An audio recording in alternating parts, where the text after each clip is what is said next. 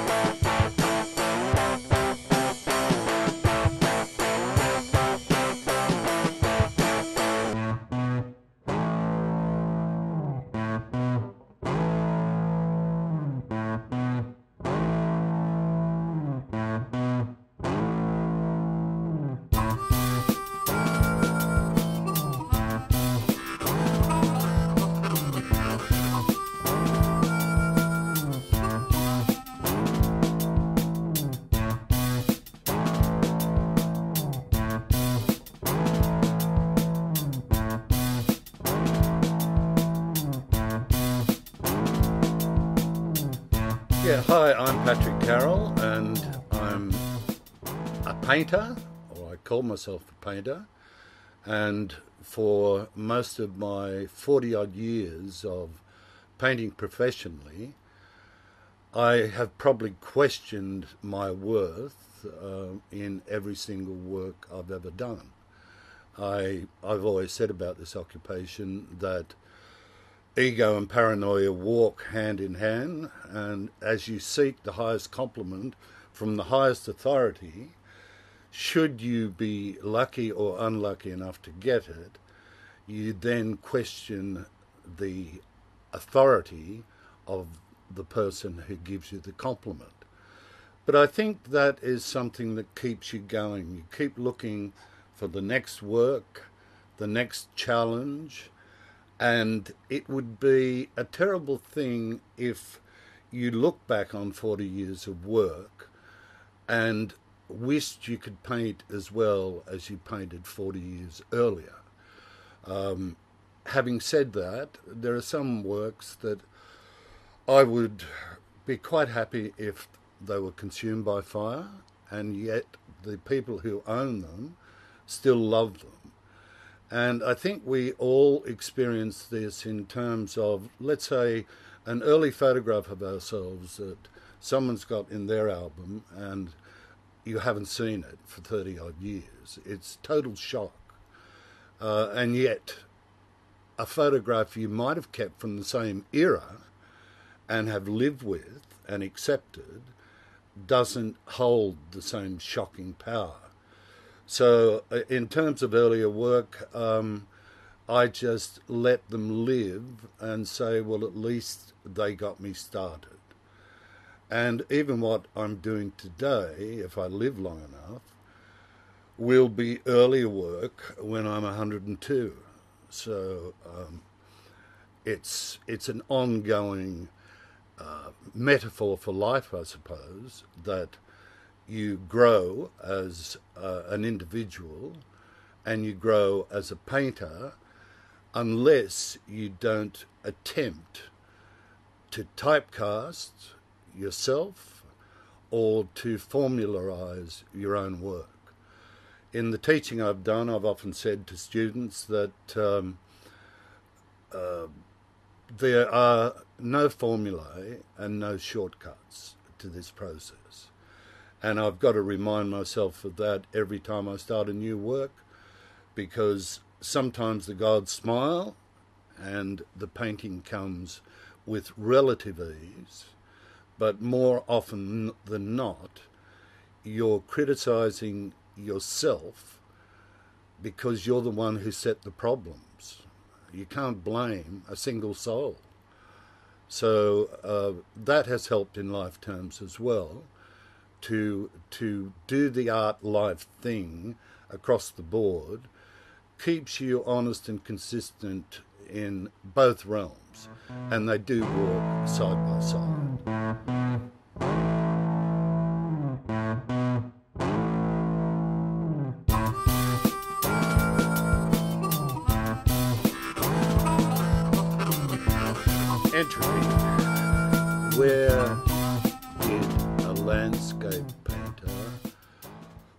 been working professionally for about 40 years come up with the strange compulsion to work through a, um, a, a scientific accepted uh, fact about order versus disorder.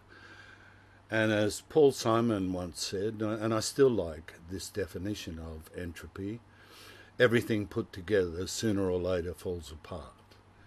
And I suppose painters are, any painter that sells a painting would like to think that the painting will last, at least for their lifetime, that you're not going to spend your later years apologetically repainting because you used poor product. So um, the sense of, of entropy has always underpinned this occupation, and even even though in a sense painting is the reverse, where you're making hopefully order from confusion. Um, you, you certainly want to be able to identify your marks for you as the sole arbiter of the worth of your works uh, from the time you say painting finished. So, uh, but it goes further back with me. Uh, my mother was a painter and encouraged all of her kids to paint, but I was the only one that took the bait. And I became passionate about painting from a very early age. So, uh, in that regard, uh, even though I had started collecting items from the road and from the footpath, um, there was a joint interest in entropy even way back then. Because as a hobby, the only criterion I had was that the the things I picked up had been either damaged or aged or rusted into some sort of disorder, even though I could see what they were. Example, a rusted bottle top could be a miniature portrait of an aged face with the right or the wrong state of mind. And it's that objective view of things is part of the painting process to um, to stand back so that you can really see the difference between the wood and the trees to come at a, uh, an ordinary subject in an extraordinary fashion is part of the process. Uh, a lot of people have said to me, I don't know how you ever find the patience to paint.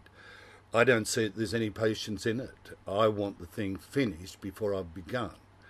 Uh, but it never happens, although the journey that the painting takes you on is uh, all involving and you, you no longer sense time passing uh, when you're engrossed in solving your own the problem you created for yourself.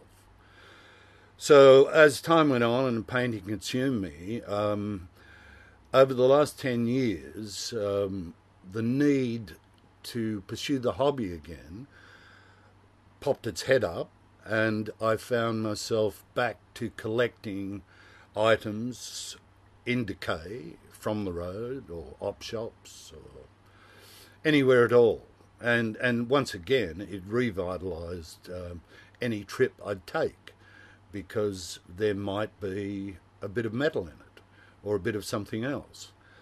So as my collection grew, I'd reached the point where I really was losing so much space that I wouldn't have had time to work. So, hence, I started to gather the sculptures together as I simultaneously started to photograph roadside chuckouts as opposed to taking from them. Hence, I moved to uh, uh, putting a proposal to uh, Tim Braham of the Gosford Regional Art Gallery the idea of the painter slash sculptor slash photographer as uh, responding to that that sort of underpins everything. I think Paul McCartney simply, not Paul McCartney, uh, Paul Simon simplified it beautifully with the words in one of his songs that said, "Everything put together sooner or later falls apart." Um, another simple description of entropy is uh, disorder, uh, where an ordered item falls into disorder. So um, I I embrace the theme and the challenge that it's presented.